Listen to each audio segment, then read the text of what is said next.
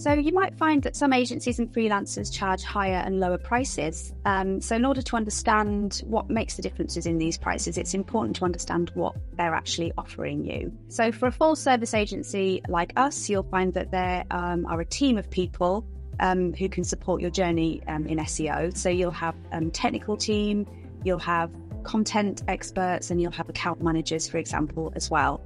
So each of these can um, help support use their specialist knowledge um, and we can draw on them as, as and when we need to. Another thing that can drive up the cost is sometimes um, agencies may have offices.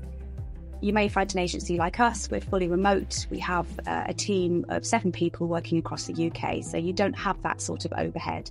Um, but you still get the quality, you still get the um, the personal experience. We only deal with SEO. Some agencies deal with SEO plus other aspects of marketing.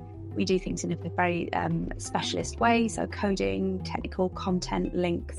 Everyone's working to their specialism and everyone's working to help you get the most out of your plan.